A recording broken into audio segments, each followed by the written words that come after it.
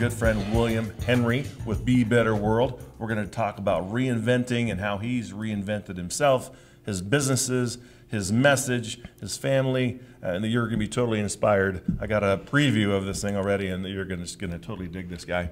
His message is on point. Uh, he's inspiring. He's empowering, and, and he's going to talk about how he's done all that taking those experiences he has had in life and really enact that into uh, going forward into 2021. So, William, let's start off with I'd like to just, you know, without saying, tell me about yourself, I would like to know kind of what was happening in your life maybe five, ten years ago. Where were you personally, professionally, that type of thing? Yeah, so for, tw- I'll back up 20 years, and I, I worked for uh, one of the bigger healthcare companies in the, in the country. And I did that, and um, it was interesting because about three years ago, I got an ultimatum, and the mm-hmm. ultimatum was either you can do this or that, and I chose to do that, and here we are now, three years later, with my own single.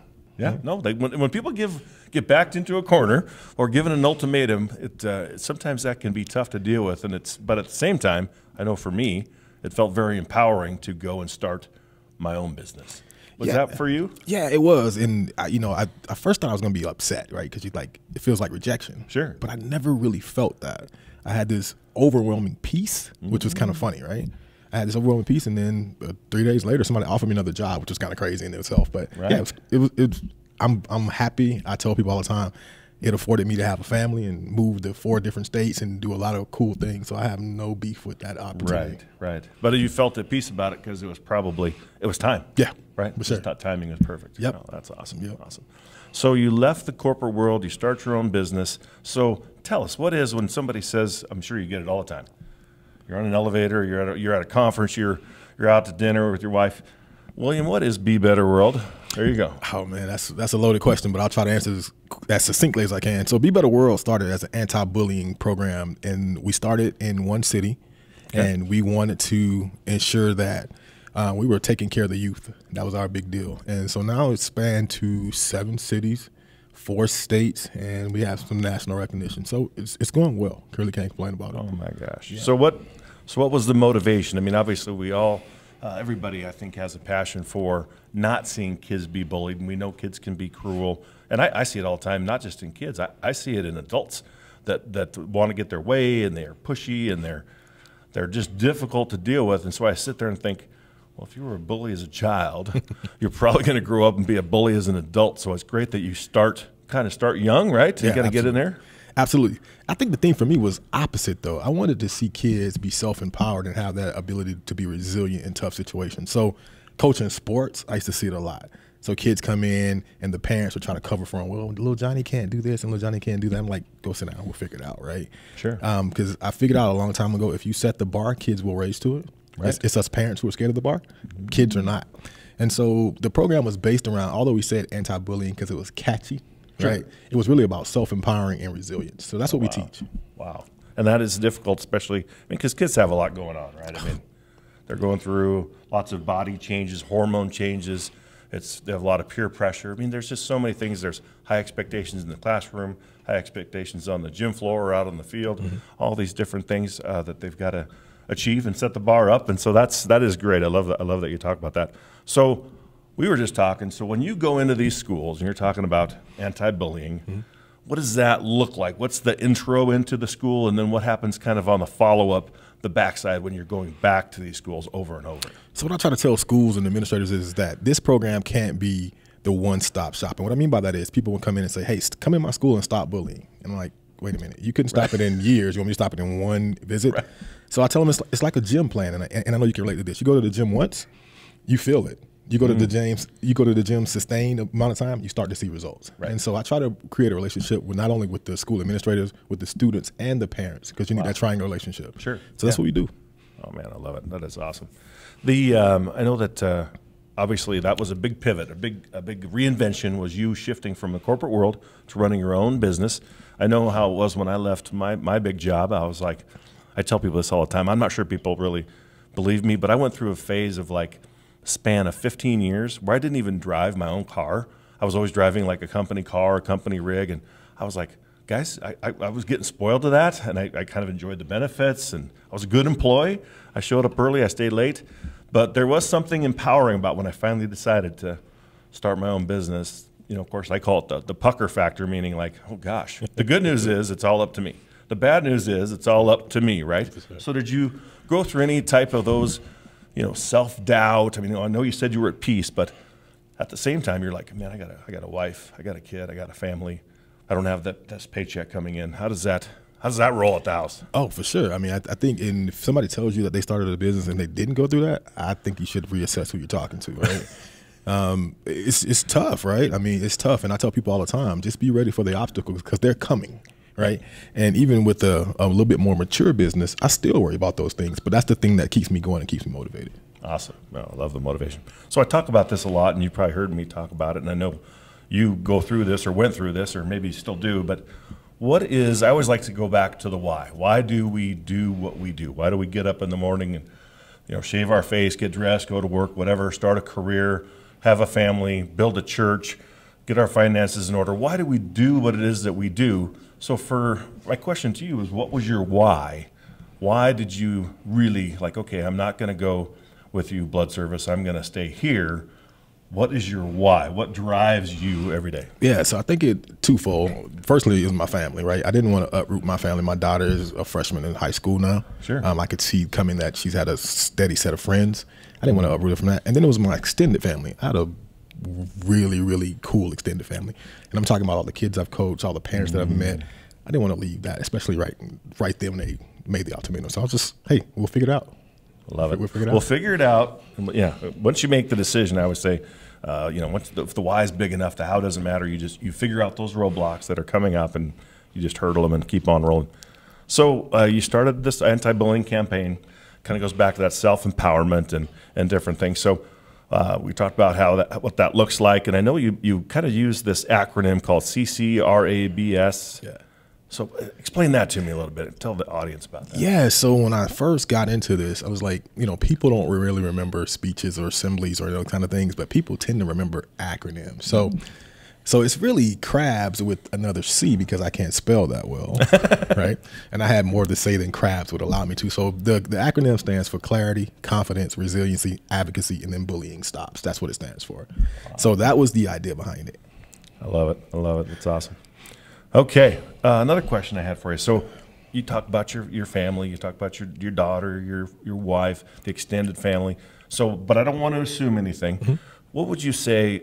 You know, who was your support system? Because there were some roadblocks, there were some hurdles, there were some self doubt. There's probably some even people maybe at the last company you worked for, or even some friends uh, that maybe don't necessarily want to see you succeed or struggle with it. So who who could you count on? Who was that support system for you? So I'm a, I'm a man of faith, so I've always believed in God, and, and like I said, I've been guided by that for as long as I can remember. And I knew if I kept my faith in that, that I'd be fine. And you know, my family was there cheering me on, my extended family was there cheering me on. So my support system is really strong, and I'm appreciative to all those people who are part of wow. it. Yeah. Gosh, that is that is awesome. We can all take a, a lesson in that for sure.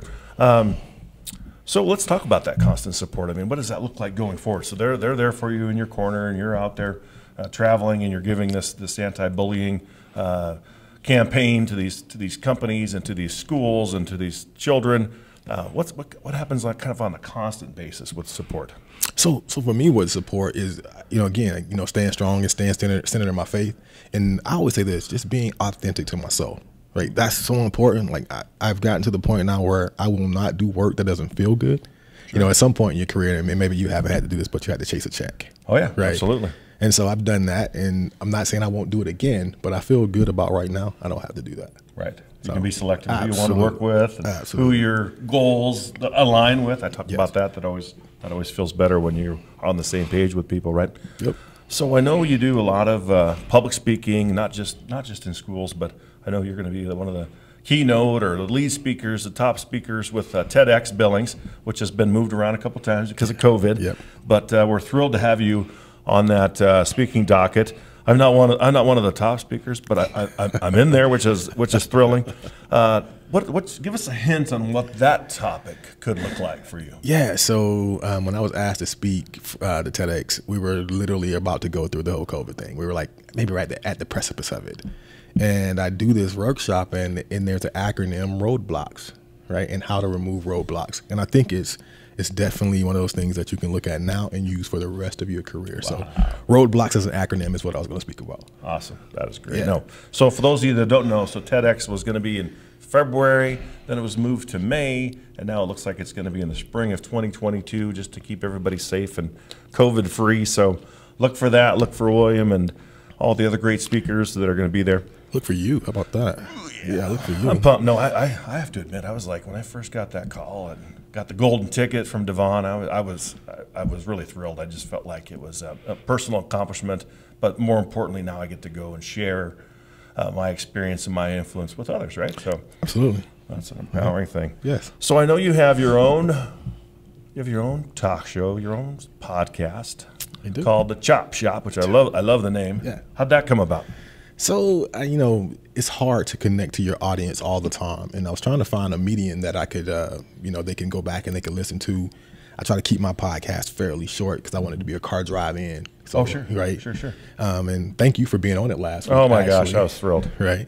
Um, so that came about like that because people were asking me for more and they wanted a, a diverse uh, audience. I have a diverse audience, so I wanted them to be able to expose them to some of the beauties of our community. And it's worked out. We're on episode 27 I think. Wow. Yeah. I love it. No, I, I, I thought the production was great. I thought the, it was just easy. It felt felt comfortable, and I, I felt empowered leaving there. So uh, obviously, hopefully, the listeners feel the same way, right? I'm hearing you, I'm sure they will. Yeah, listen to you. Listen to you. Um, so we talked about the podcast. We talked about uh, uh, Be Better World. I know you also do some work with youth with regards to to basketball tournaments and things like that. So talk about that for a second. I thought that was really cool. Yeah, so we started Big Sky Balling in 2012, um, and we started on. I was I was just uh, I was too stubborn not to have a, the biggest basketball tournament in the state, right? Um, so prior to me getting here, there was a big tournament called Rock the Rims, Okay. and I heard that it had died, and then I went to Bozeman and they had a fairly big tournament. I'm like, where's Billings? So 88 days later, we put together our first one in 2012. We had I don't know 60 teams, and I think we've topped out in the last couple of years at about 200 teams in the Oh summer. my gosh. So it's it's it's a good time. It's normally really really hot because we do it in August, Right, On right. the blacktop.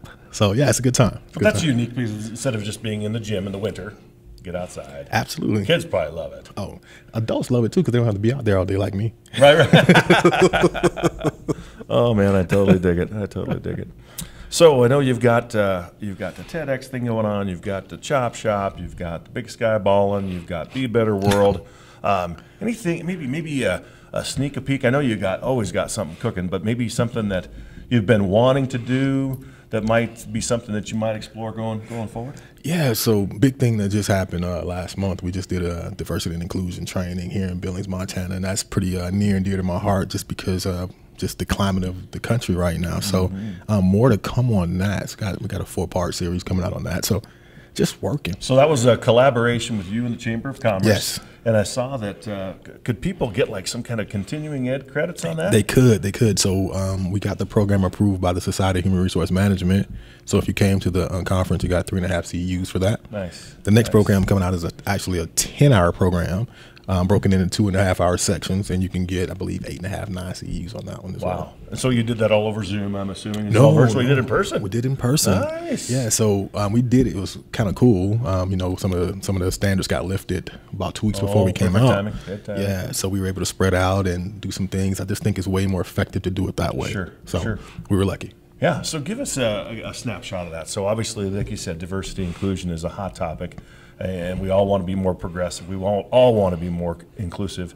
And I know even for myself, I, I've I've never considered myself a racist or prejudiced person, but I, I've always caught myself saying different words.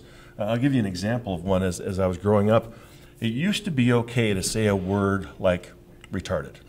That's not cool. You don't say those kinds of words anymore. And and I'm just picking on one word. And, and but I, I find myself at times, whether just maybe it's how I was raised or the culture I was in, the family I grew up in, or the people I've been around, um, that will say different things or just believe different things. And I think they don't even realize that they're saying it, but they're not as inclusive as they should be. They're not as diversified. And so obviously we don't have a huge diversity of, of races and Billings and uh, and different things. So how how does somebody be, really open up their mind, open up their ears, open up their their soul and really go, gosh, you know, I, this, these are, are some areas I could be better at, not only for myself, but for my family, my business, my church, etc. So one of the things you said earlier is there's a huge difference between racism and prejudice, right? And I think those words get thrown around equally, but they're not. So mm-hmm. prejudice, we all have. We all have, right? We walk into a room, everybody's dressed a certain way, we're not dressed a way, certain way. That's prejudice, right? Mm-hmm. I feel a certain way about that. Sure. Right? Sure. Those things we can talk away. Racism is totally different, and you're not gonna have an adult beverage and talk about what that means. But so I tell people all the time, it's okay to be prejudiced, right. but understand your prejudices so that you don't take it into making an evaluation of a person. That's the difference. Mm, that's powerful. Right. Cow, yeah, really good. So. Yeah. No, and I think that's, uh, I, I love that you're collaborating with the chamber and putting that together. So you said this will be a, just the beginning yeah. of what is more to come. Yeah, absolutely. Awesome. awesome. Coming down the pipe probably in the next uh, month or so. Like I said, we'll, well, I know it, I know it's sold out. It, right? It did sell out. It did sell out. So that tells you right there that people want the information. Yeah, they want they want to learn. Everybody, we're all open to change. I think in today's today's day and age, and so that's that's pretty cool. Yeah. So, but tell us. And we, you were talking about your daughter and your and your wife, and so how how's your family doing right now? What's going on in your in the at the you know on the homestead as far as kind of looking forward to 2021? You know, my family is good, right? I mean, like I said, and, and, and I can't state this enough. We we know some, we know and are exposed to some really really good people, mm-hmm. and so given that, you know, we tend not to struggle in some of the areas that we see others struggle in. However, the struggle is real. I'm sure, the struggle sure. is real. Yeah, and I think the fact that um, our community is stepping up and trying to talk about the struggle, I think it makes it that more it that much more important, right? Right. And so I've been a big believer my entire life. If you're not part of the solution, you're part of the problem. problem. Mm-hmm. So mm-hmm. we want to be a part of the solution. Well, in our state is typically a, a, a, Republican, conservative type state, but I think. Uh, you know, for myself, I, I, tend to lean a little more that way just because I was brought up as a Christian. Yeah. But I also am a very tolerant, inclusive, inclusive person, and I think it seems like people are are kind of you know, coming back to that, getting centered. And I always hate seeing all the things we've seen lately with regards to politics because it's it's been like the divided uh, states of America versus the the united states of America. So if somebody said to you, William, they say, "Gosh, you're you're a, you're a speaker, you're a motivator, you're a coach, you're a, you're a Christian, you're a family guy. What is something I can do at my level in little old Billings, Montana, or wherever I live, America, where I can really make a difference, reinvent myself, and become a better a better version of me. What, what would you advice would you give somebody? So I would say just be open, be open, and be graceful. Those are the two things that I think get missed a lot. So I tell people all the time, it's not my job to change your mind. It's my job to help you open your mind so that you can make an informed mm-hmm. decision. That's first. And then have grace, right? Because here's the deal we only know what we know. I've had the opportunity to live in seven states. I've been in 47 of the 50, so I've seen a lot of things. Sure. If you've only been in Montana and you know for 50 years, you haven't seen the things I've seen. So I'm going to afford you some grace and understand that you haven't had the same experiences. Mm. And I think likewise, you got to afford the, the person grace as well. So those would be the two things I would say. Be open and have grace, because like you said, it's just being open to another another.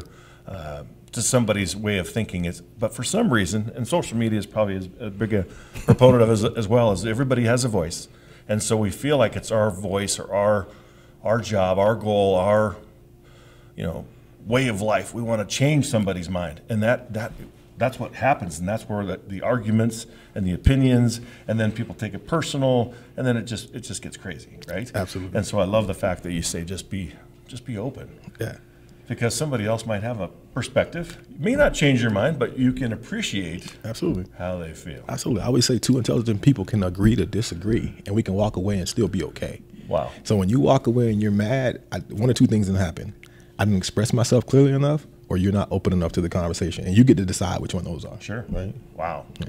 But yeah, people all of a sudden, you know, it's, it's like they're on the fight, like right away, just instead of just like you said, affording people grace. I, lo- I love that piece because we don't know what other people have been through.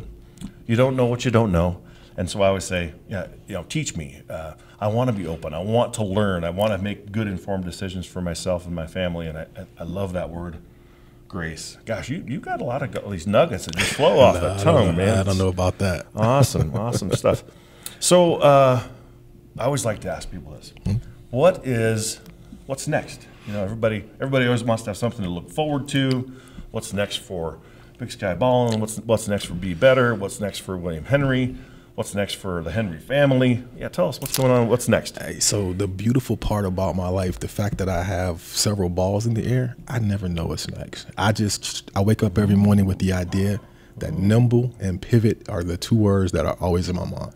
So Right. I know that sounds vague, but who knows? I might wake up with a new idea tomorrow and, and be calling you because I need your help. Yeah, no, I, I, that is so good though because uh, we were talking about this earlier. We both have worked for big companies, and uh, I always say it's kind of like when you want to make a change in a company or a change in a culture, especially with a big organization like you used to work for, or the one I used to work for. It's like the Titanic. You just you can't shift it quick enough to to miss the icebergs. And so you just mentioned being able to pivot, being nimble, because in today's world, and with all the balls you got in the air, is that you need to be able to move and change and decide and make moves and change and grow and adapt and reinvent at the drop of a hat, right? And so it's just kind of disappointing. We see people that just are unwilling or not open and things like that. But I, I love that because that, if that's your mantra uh, for you and your family and your companies, we're going to stay nimble, we're going to be ready to change and adapt and pivot.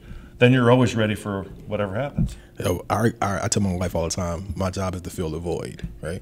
So we find the void, you fill the void, and you and you never go hungry, Right. And I mean, spiritually, emotionally, physically, you never go hungry. So, you know, again, we found a void with basketball, so we feel that. We found a void with diversity and inclusion, we feel that. We found a void with mask, we feel that. So it's just about being nimble, staying alert, right? Staying positive, and being able to move when you need to move. Right. Wow. No, that is uh, that- that's admirable. I really I, I appreciate appreciate, that. that. man. That's really really powerful. So I'm going to touch base on that last question before we roll out. You were talking about the masks, Mm-hmm. and uh, uh, I- I- everybody's got their own opinion on them. I, I've always just felt if I can do anything to keep my spit and my breath off somebody else, I'm, I'm all for it. But um, plus, I've, I've been through COVID, and it was an awful experience. And so when people say it's it's not real, I would say, well, that's much BS. But anyway, nonetheless. Um, so you promote the masks, and I know they've got like the different, like West West High Bears logo or Skyview Falcons logo. So how did, how was that born?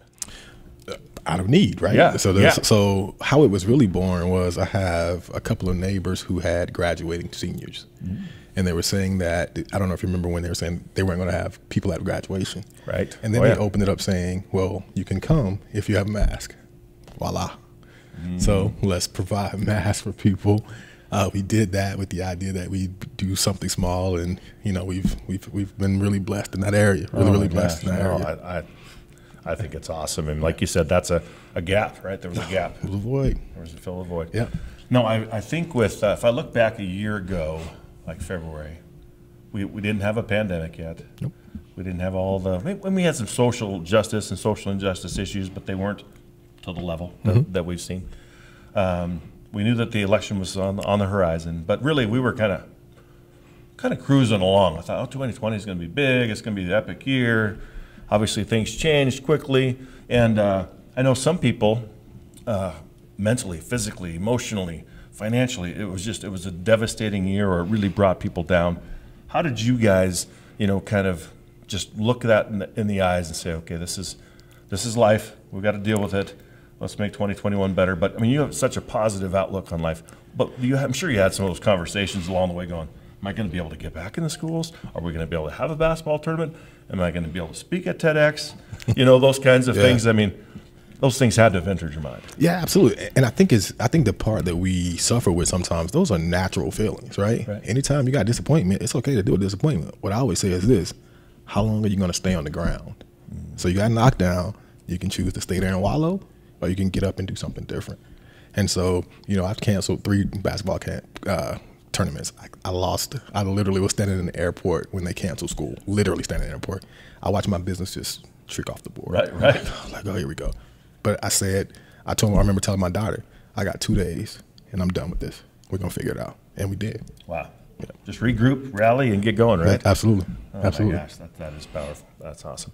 Well, uh, so getting wrapping wrapping up, Mm-hmm. how do people, if they want to, if they want to hear more about uh, about what you're doing with regards to um, the Be Better, getting a hold of you, getting in touch with your company, what's the best way for somebody to reach out to you? Yeah, so you can reach me at bebetterworld.org, Okay. right? Uh, Facebook page is Be Better World. Looking for mask. The mask page is custom logo mask.